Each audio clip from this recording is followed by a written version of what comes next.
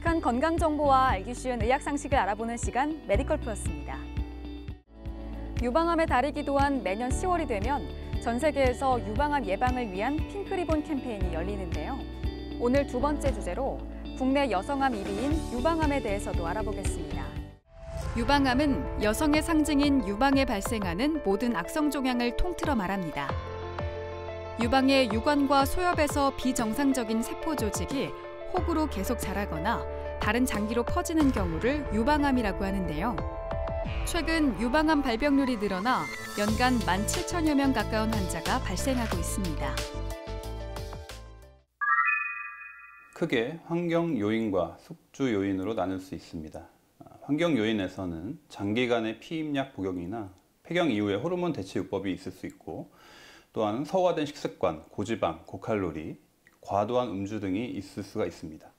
숙주 요인에서는 어, 에스트로겐에 노출되는 기간이 길수록 가족력이 있는 경우 혹은 BRCA1, 2라는 유전자 변이가 있는 경우는 위험도가 높다라고 할 수가 있습니다. 물론 여기에 해당하지 않더라도 충분히 유방암은 어, 발병될 수가 있겠습니다. 유방의 덩어리가 만져진다면 가장 먼저 유방암이 아닐지 의심하게 되는데요. 하지만 유방에서 만져지는 덩어리가 다 유방암은 아닙니다. 대부분은 섬유 선종과 같은 양성 종양으로 유방암과는 관계없는데요. 실제로 유방 종양으로 조직 검사를 시행한 환자의 80% 이상이 양성 종양입니다.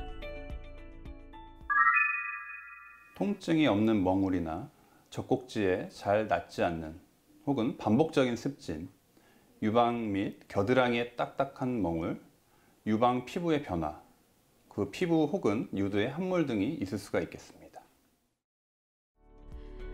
유방암 예방을 위해 30세 이상부터 매월 유방 자가 검진을 통해 유방암을 검진하고 35세 이상은 2년마다 전문의에 의한 임상 검진, 40세 이상은 1, 2년 간격으로 전문의에 의한 임상 검진 및 유방 엑스선 촬영, 유방 조직이 치밀한 경우는 유방 초음파도 실시해야 합니다.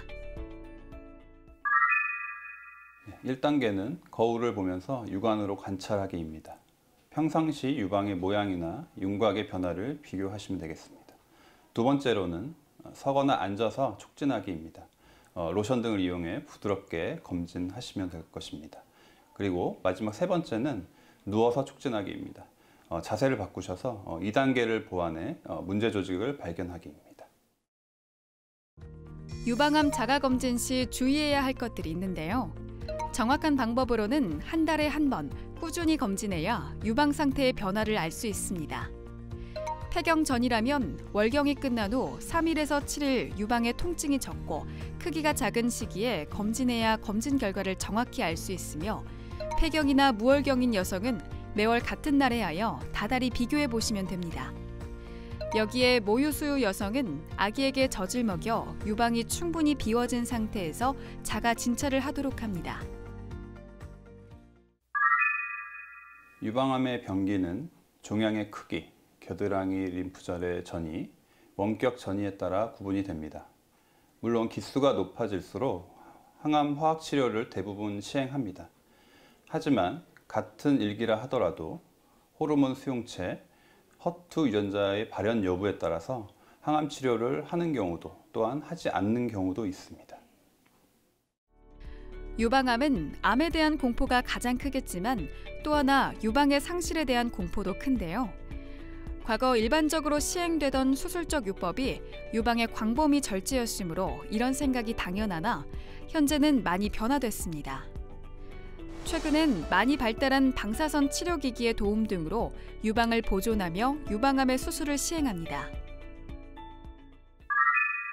2000년대 초반에는 전 절제술이 약 6대 4의 비율로 높았다면 2010년대 들어서는 반대로 유방 부분 절제술이 6대 4의 비율로 더 많이 시행되고 있습니다.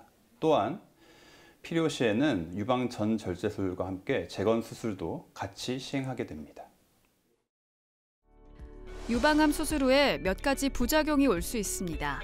그러나 삶을 위협할 만큼 심각한 것들은 아니므로 크게 걱정할 필요는 없는데요.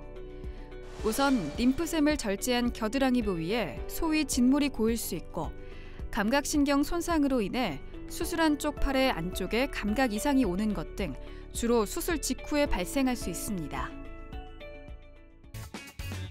여기서 잠깐 잘못된 의학 상식을 바로잡아 건강도 지키고 상식도 키우는 yes or no. 유방이 큰 사람이 유방암에 더 잘 걸리나요? 아, 아닙니다. 그렇지 않습니다. 아, 일부 연구에서 마른 체형의 여성에서 유방이 큰 경우 유방암이 조금 더 많이 발생했다라는 결과는 있습니다. 그러나 아직까지는 크기와 유방암이 직접적인 관계는 없다고 보는 것이 맞습니다. 잘못된 의학 상식 깨치기 yes or no 두 번째. 방사선 촬영을 하거나 가슴을 누르면 암이 퍼진다는데 사실인가요? 아닙니다. 예, 그렇지 않습니다. 압박만으로는 암세포가 퍼질 수가 없습니다. 암세포들도 살 수 있는 환경이 제공되어야만 자라고 퍼지기 때문에 검사를 시행하는 것 자체가 암을 퍼뜨리지는 않습니다. 다른 암들과 마찬가지로 유방암도 항상 재발의 위험성을 지니고 있습니다. 암을 완벽하게 예방할 방법이 없듯이 재발을 철저히 막을 방도도 없는데요. 유방암 치료 후에도 정기적으로 검진을 받아 국소 재발이나 전이 재발을 일찍 발견하는 것이 매우 중요합니다. 에스트로겐 노출 기간을 줄여야 합니다. 늦은 초경, 이른 폐경, 다출산, 모유수유 등은 유방암의 위험성을 줄일 수 있습니다. 또한 적절한 체중을 유지해야 합니다. 폐경 후 여성에서는 말초 조직의 지방 조직에서 에스트로겐이 주로 공급되므로 이를 줄이기 위해서 적절한 체중을 유지하는 것이 필요합니다. 또한 알코올은 체내의 에스트로겐과 안드로겐 등의 호르몬 분비를 증가시키고 체내 지방의 과산화나 활성산소를 유리하여 유방암의 발생을 증가시킨다는 보고가 있습니다. 뚜렷한 가족력 혹은 BRCA1, 2 등의 유전자 변이가 있는 경우에는 특히 더 주의해야 합니다. 유방에 만져지는 증상이 있으면 꼭 내원하여 검사를 시행하거나 전문의의 진찰을 받으시기 바라며 유방암으로 진단되었다 하더라도 적절한 치료를 받으신다면 좋은 결과를 얻을 수 있습니다.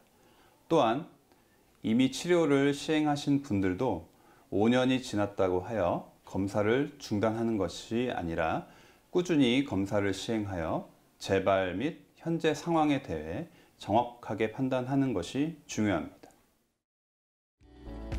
많은 분들이 가슴 성형을 한 여성은 유방암 검사 혹은 수술을 못하게 되는 것이 아니냐고 궁금해하시는데요.